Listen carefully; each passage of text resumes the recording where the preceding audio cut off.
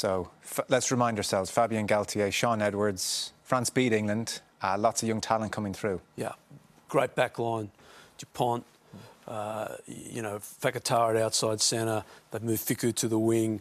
You've got Ntamack at 10. It's a, it's a, a highly talented French back line. I, I, I, I love watching them play, I have to say. I've really enjoyed it.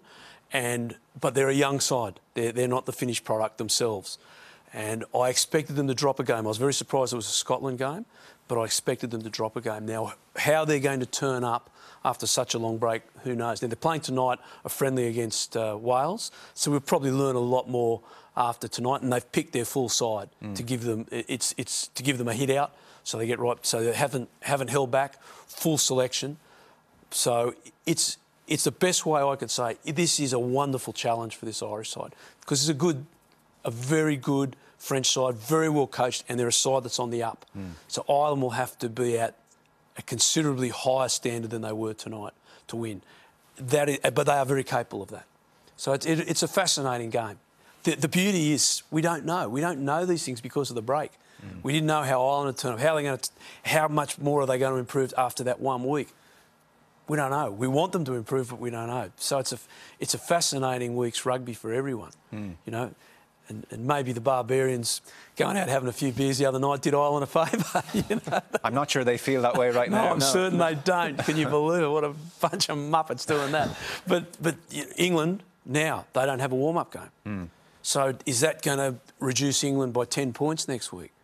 So it's uh, it's it's a fascinating week. I, I can't give you the answer. We'll have to live it for the next till next Saturday night to find out. Yeah two years ago, it was Johnny Sexton and the drop goal, one of the great moments, really, that we'll ever see from an Irish team.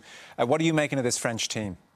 Yeah, much like Matt, I think I, I've fallen in love with French rugby again because you've sort of got the, the mixture of power and, and champagne rugby again. I mean, they've produced, I mean, particularly that Welsh game, you know, some of the tries. Ntamack is growing into that role at 10, uh, really pulling the strings and, and being unpredictable. So it's intriguing, as Shane Jennings pointed out, completely different task, completely different test for, for the Irish team. But the great thing is we've have, have players on that panel that have won, mm. you know, won a game in Ireland. So uh, there's absolutely no fear factor, but it's just important that Ireland go there with the mentality of winning, not looking to get the four tries straight away.